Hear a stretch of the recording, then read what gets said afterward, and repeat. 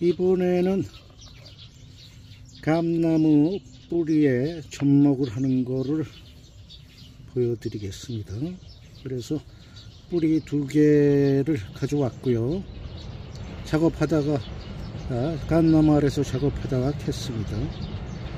자, 그래서 여러분들이 생각하시는 정상적인 예, 뿌리 접목하고 지금까지 어, 생각해 하지 못했던 어, 역으로 하는 방법 또 두 가지를 보여드리겠습니다.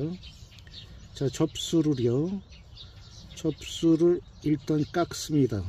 일반 깎기 접 할 때처럼요.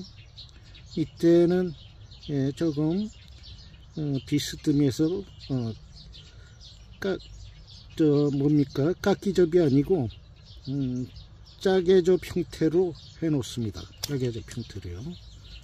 45도 그러니까 짧게 치는 게 아니고 약간 길게 해서 그대로 내려가는 거예요.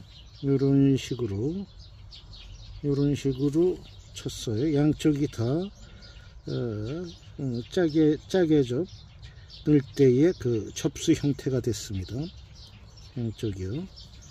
그리고 요거 눈 두 개 남기고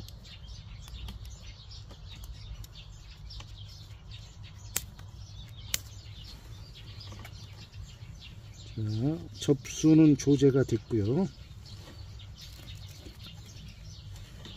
그 다음에 뿌리도 마찬가지로 공대처럼 가운데를 뽀갭니다. 공대에서 했던 방법대로요.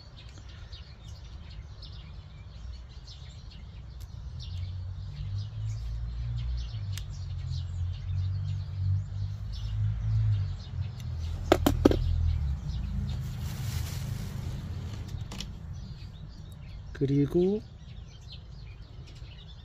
짜개접, 쪼개접 이라고도 해요. 형태니까 뿌리에다 이렇게 쐐기 모양으로 찔러 놓으면 됩니다.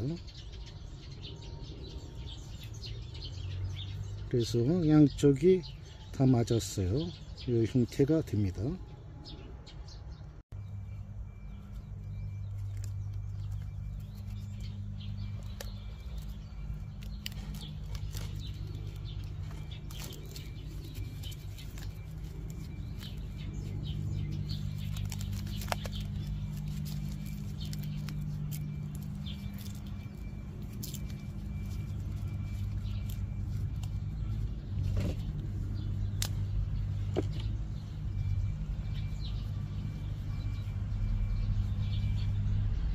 네, 이렇게 하는 방법이 있어요.